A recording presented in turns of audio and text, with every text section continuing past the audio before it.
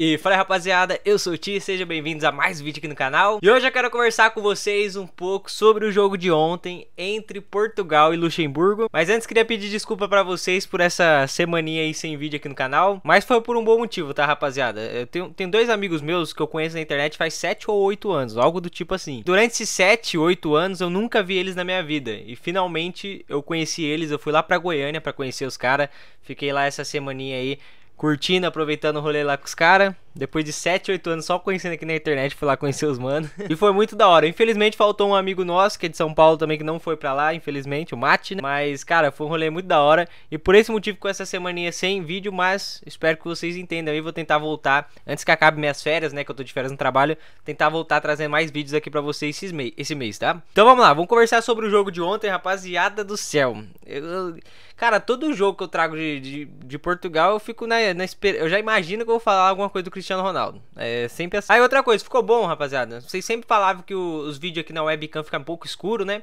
E eu realmente via que ficava um pouco escuro, mas não tinha o que eu fazer. E finalmente eu comprei um negocinho de luz, ó. Eu não sei se vai ajudar muito, mas eu, aparentemente ficou um pouquinho mais claro, né? Eu acho que ajudou um pouquinho. Comente aí se ficou mais claro, se deu uma ajuda ou não, tá? Eu acredito que deu uma melhoradinha sim. Vou até tentar colocar um pouquinho mais perto aqui de mim.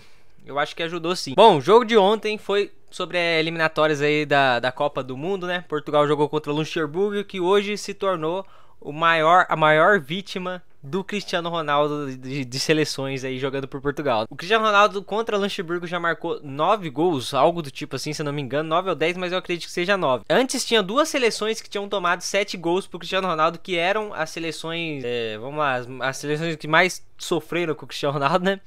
Mas aí Luxemburgo deve ter falado assim, ah, né, vamos, vamos né? Vamos ficar em primeiro alguma coisa aqui, rapaziada. o Cristiano Ronaldo fez um hat-trick, né? Foram dois gols de, de pênalti um de cabeça. Infelizmente, infeliz... cara, seria sensacional, galera, sensacional.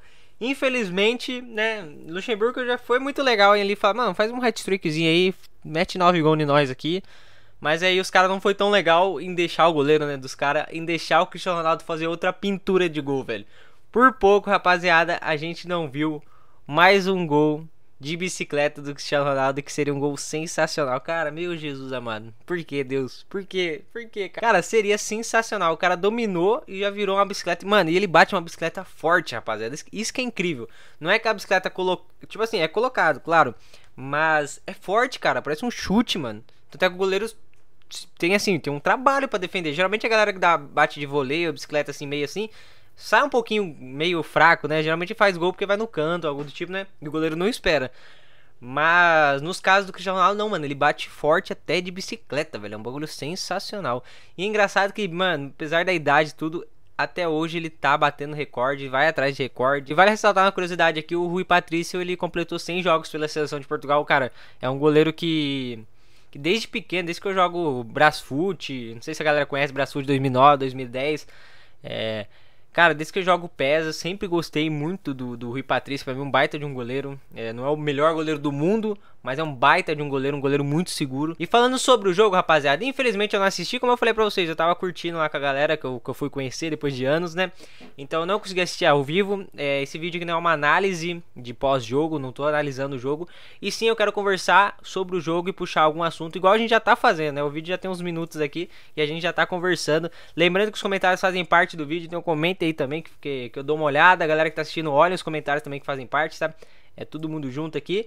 E, cara, na verdade, Portugal, esse jogo aí, os caras já acabaram com o jogo em 17 minutos. Em 17 minutos já dava 3 a 0 para Portugal. Ali já, já tinha acabado o jogo. Demoraram para depois fazer os outros dois, né? Foi só no segundo tempo. Mas ali o negócio já, já tava decretado que Portugal ia ganhar. Porque, mano, em 17 minutos 3 a 0 contra o Luxemburgo. E aí os outros dois gols, como eu falei, foi no segundo tempo. Um gol do Palinha, Palinha, acho que é assim que chama, outro gol do Cristiano Ronaldo. E no primeiro tempo foi dois, dois gols do Cristiano Ronaldo e um do Bruno Fernandes, que para mim também é um baita de um jogador também, cara. A seleção de Portugal é muito forte. O legal também é a comemoração do Palinha, cara. Ele comemora igual o Cristiano Ronaldo na seleção. Olha, olha que da hora que deve ser, mano. Você jogar com o Cristiano Ronaldo, tipo, o cara, o cara é sensacional, mano. E você vê a admiração que a galera tem por ele até na seleção que eles comemoram igual o cara, velho. Olha o tamanho da figura que é o Cristiano Ronaldo, né? Pra vocês terem uma ideia. Bom, em relação ao grupo, né, da, da, da eliminatória aqui, deixa eu dar uma olhadinha aqui para vocês. Para ser sincero, rapaziada, eu sei que o primeiro do grupo se classifica e o segundo, ele tá com uma marcaçãozinha aqui. Eu não sei se vai para alguma repescagem. Para ser sincero, eu não, realmente não fui atrás para saber muito bem sobre isso. Eu acredito que vá para alguma repescagem, sabe, para tentar se classificar ainda. Então assim, o melhor seria Portugal passar em primeiro no grupo. Ponto. Era, é, é, esse é o ponto. Tem que passar em primeiro e pronto, acabou. Então, nem vou comentar sobre, ah, mas se passar em segundo, não. O negócio é passar em primeiro e, e já era. A Sérvia, ela também ganhou, ganhou da, da Azerbaijão, antes que eu falei errado aqui, deixa eu ler. Ganhou de 3 a 1 e com isso foi para 17 pontos e Portugal está em segundo com 16 pontos, tá? Os outros times não tem nem, tem nem como a gente ver muito. A Irlanda está com 5 pontos, a, Luxemburgo com 6 e o Azerbaijão com 1 ponto, né? Os times ali já não tem mais o que brigar. Porém, rapaziada, apesar da Sérvia estar tá em primeiro, é, eles têm um jogo a mais. Estão com 7 jogos e, o, e Portugal está com 6. E deixa eu ver se eu não me engano, mas são 10 rodadas. É, são 10 rodadas, tá certo. Então, assim, Portugal vai jogar contra a Irlanda o próximo jogo. Pode ganhar, se ganhar já passa ali a Sérvia. E aí o último jogo de Portugal é exatamente contra a Sérvia. Seria tipo uma final aí para ver quem vai se classificar aí para a Copa do Mundo, né? E aí ele poderia jogar por empate. Então, apesar de Portugal hoje estar tá em segundo, tá numa situação até tranquila. Tá, tá até tranquilo porque vai sim depender de um jogo contra a Irlanda, que é um jogo tecnicamente vai ser um jogo fácil. Então eu acredito que Portugal vai classificar em primeiro. É, tá tudo sob controle aí. E a gente vai ver Portugal aí na Copa do Mundo. Mas, rapaziada, comentei. Que, como que vocês assistiram o jogo? Se vocês estavam assistindo o jogo, com quem que vocês estavam assistindo? Vocês comemoraram o hat-trick aí do Cristiano Ronaldo? Qual que foi a reação de vocês na bicicleta? Que pra mim, cara, foi sensacional. Infelizmente não entrou. Só vi depois no, nos melhores momentos, né? Mas, cara, poderia ter entrado, né? Nossa, como seria um vídeo muito mais da hora hoje eu, eu falando sobre a bicicleta aí do Cristiano Ronaldo. Infelizmente não é, né? Mas é isso então, rapaziada. Espero que vocês tenham gostado. Como eu falei, não é uma análise do vídeo, é pra gente conversar sobre, é, conversar um assunto sobre o vídeo, sobre o vídeo não, sobre o jogo, o que envolve o jogo também, tá? Eu, eu gosto de fazer esses vídeos de conversa com vocês. Mas é isso, espero que vocês tenham gostado. Não esquece de deixar o like, se inscrever no canal se não for inscrito. E até o próximo vídeo. E fui! Espero que tenha melhorado um pouquinho a iluminação. Acho que não foi muito não, mas já deu uma ajuda. Tchau!